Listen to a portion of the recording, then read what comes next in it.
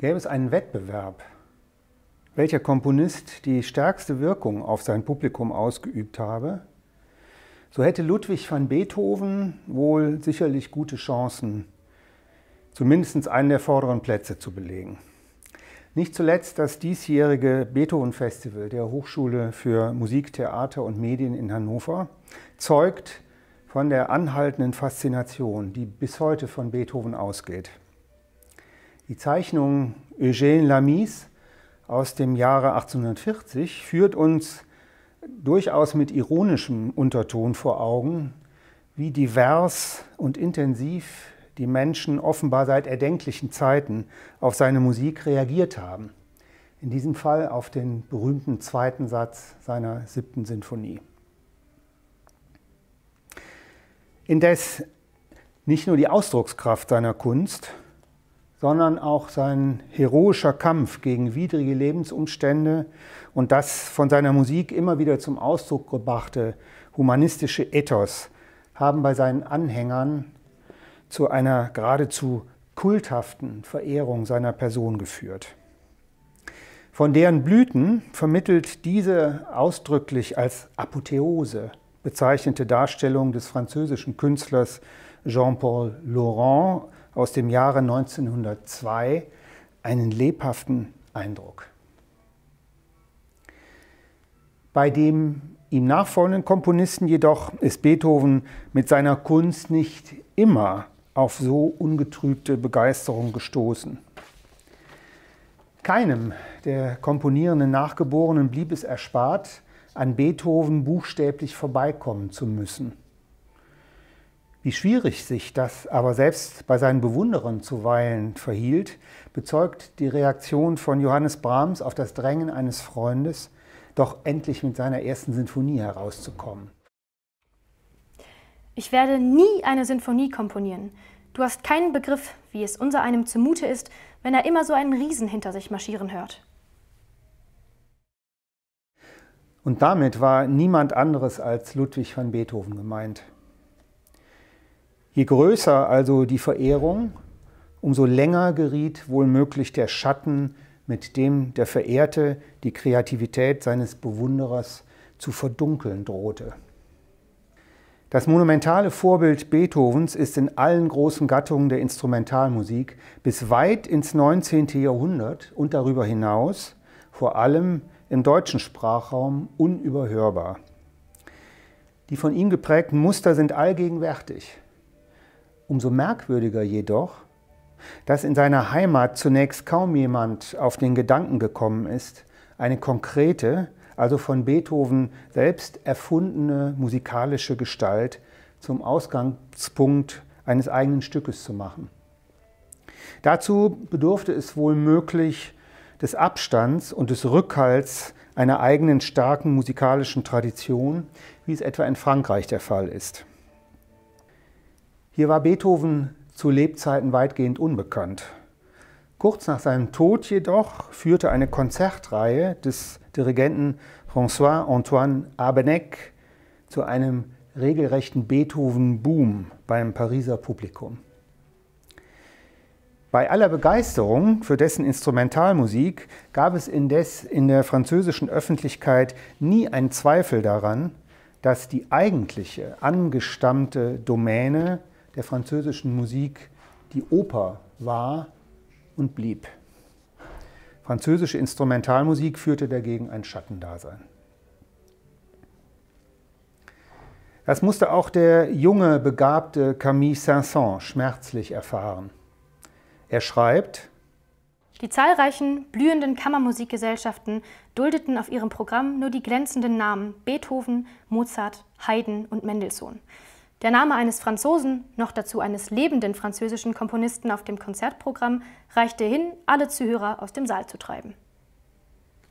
Um diesem ärgerlichen Zustand abzuhelfen, gründete Saint-Saëns im Angesicht der demütigen Niederlage Frankreichs im Deutsch-Französischen Krieg von 1870-71 mit gleichgesonnenen französischen Musikern die Société Nationale de Musique.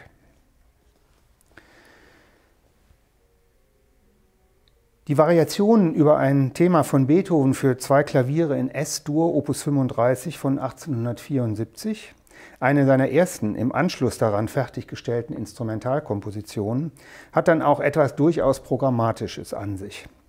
Nicht nur huldigt sie dem unangefochtenen Meister deutscher Instrumentalkunst, sondern stellt über ihre Opuszahl eine Verbindung zu einem Werk Beethovens her, die bestimmte Erwartungen erweckt.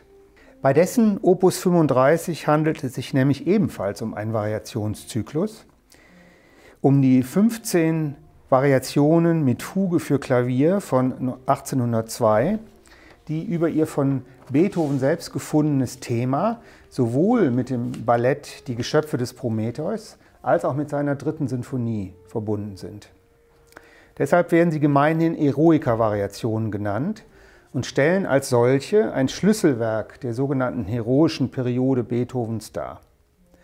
Jenem Schaffensabschnitt, der mit Werken wie der dritten und fünften Sinfonie, der Eroica und der Schicksalssinfonie also, aber auch mit dem dritten Klavierkonzert in C-Moll, der Coriolan-Ouvertüre, der ersten Fassung der Oper Fidelio oder den Klaviersonaten Opus 53 und 57, der Waldstein-Sonate und der Appassionata, das Bild Beethovens in der Öffentlichkeit maßgeblich geprägt hat.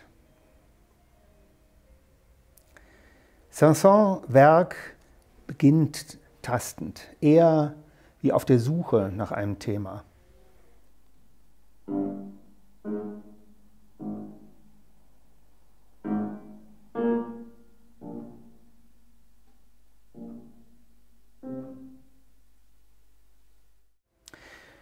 Die Musik scheint sich dann mit einem dramatischen Arpeggio einem Werk zuzuwenden, das ebenfalls zu den charakteristischen und weit bekannten Werken von Beethovens heroischer Epoche gehört. Der Klaviersonate D-Moll, Opus 31 Nummer 2, der sogenannten Sturmsonate. Zunächst wieder Saint-Saëns.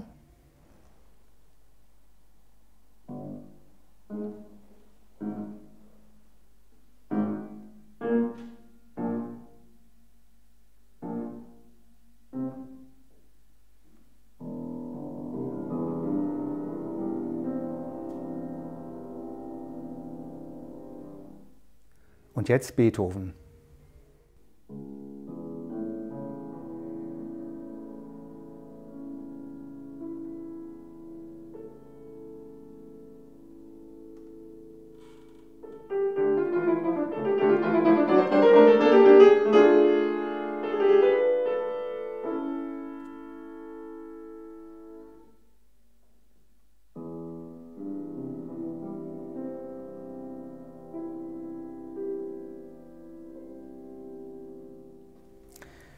Das Thema, welches Saint-Saëns jedoch schließlich zum Ausgangspunkt seiner Variationenfolge nimmt, ist denkbar abgelegen und repräsentiert unerwartet einen anderen, gänzlich unheroischen Aspekt Beethovenscher Kunst.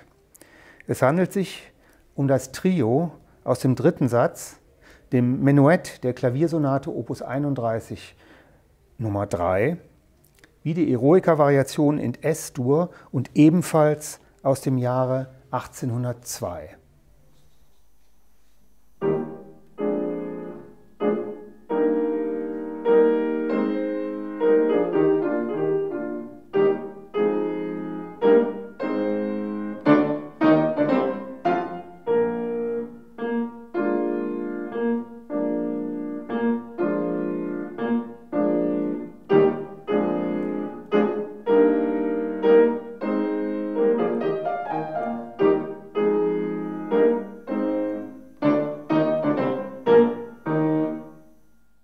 Hier zeigt sich Beethoven von seiner humoristischen, mit der Kunst seines Lehrers Haydn, wesensverwandten Seite. Und um diese prägnant herauszustellen, haben wir beim Thema ein bisschen geschummelt. Was Ihnen Richard Schwennecke soeben vorgespielt hat, ist so etwas wie eine einfache, allerweltsmäßig und künstlerisch anspruchslos formulierte Vorform dessen, was bei Beethoven dann wirklich erklingt und später von Saint-Saëns variiert wird. Durch ein paar Kniffe hat Beethoven dieser fiktiven Vorform ein charakteristisches Gepräge gegeben. Die Spannungsklänge in der Melodie versetzt er durch große Sprünge in ein anderes Register des Klaviers und erzeugt so einen reizvollen Klangeffekt.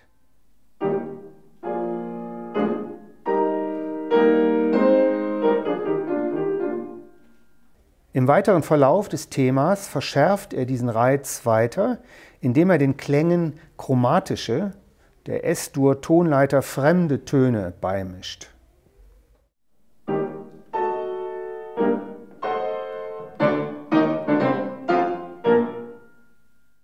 Ein sich anschließendes Spiel mit diesen dissonanten Klängen führt zu einer merkwürdigen, das Taktgefüge sprengenden Stauung, die sich schließlich in eine Wiederkehr des Anfangs auflöst.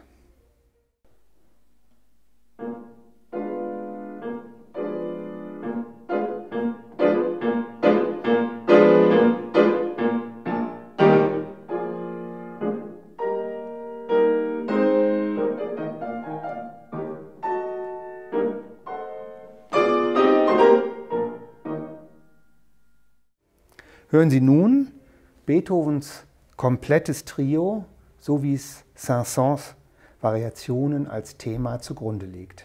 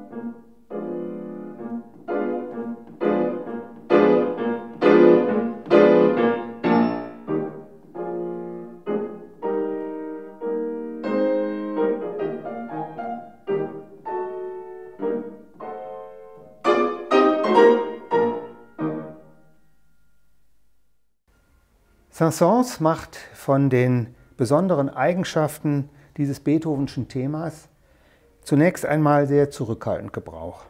Mehr noch, überraschenderweise klingen seine ersten Variationen mit ihren virtuosen Figurationen des Themas weniger nach Beethoven als vielmehr nach Mozart, Mendelssohn oder gar Schumann. Erst in der dritten Variation scheint sich Saint-Saëns auf Beethovens Humor einzulassen – Sie ist nichts weiter als eine Reprise des Beethovenschen Themas, allerdings in witziger Umkehrung der Intervallsprünge, die jetzt noch größer geraten als im Original.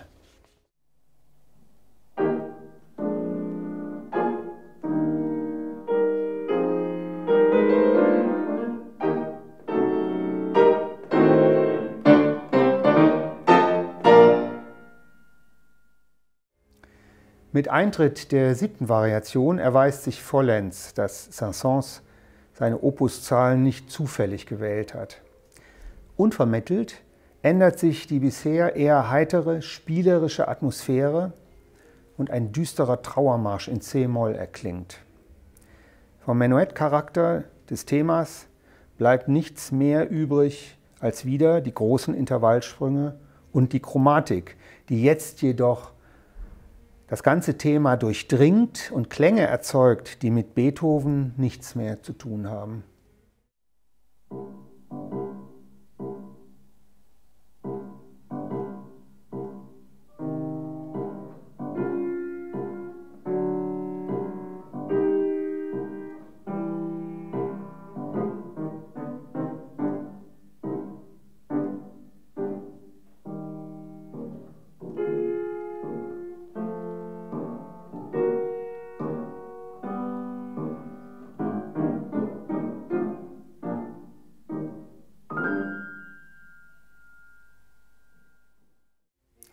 Saint-Saëns Trauermarsch stellt damit eine komplexe Verbindung her.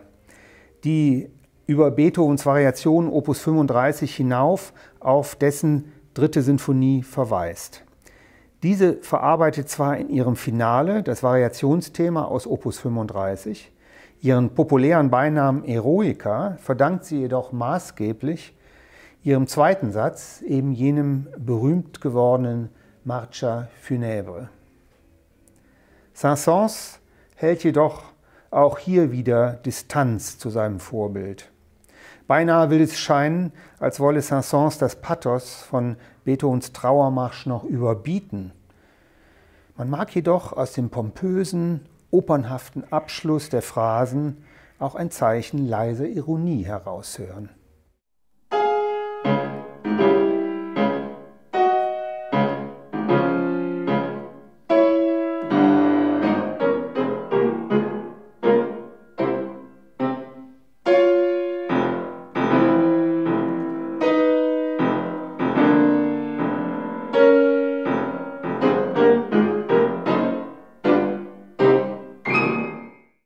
Nach dieser Episode in Moll erklingt überraschenderweise wieder die Einleitung. Eine Tabula Rasa-Situation, aus der heraus ebenso überraschend eine Fuge anhebt, deren Thema sich in seinen großen Intervallsprüngen als neunte Variation präsentiert.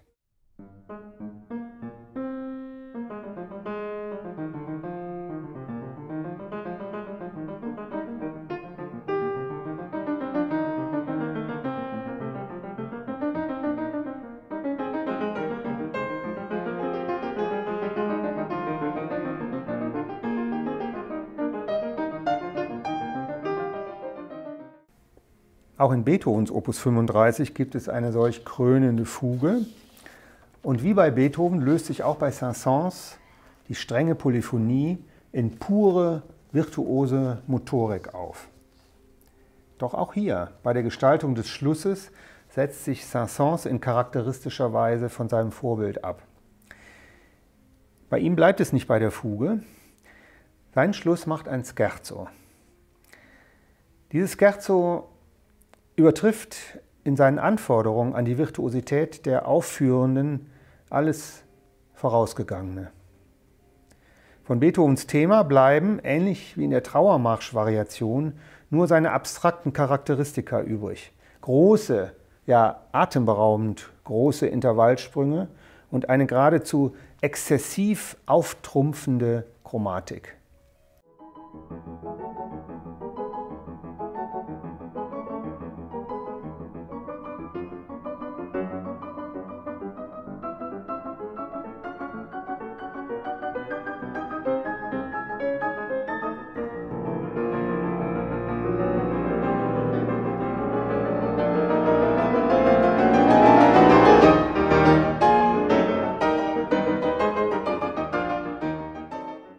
Von seinem Komponistenkollegen Charles Gounod ist Saint-Saëns einmal als Beethoven français bezeichnet worden.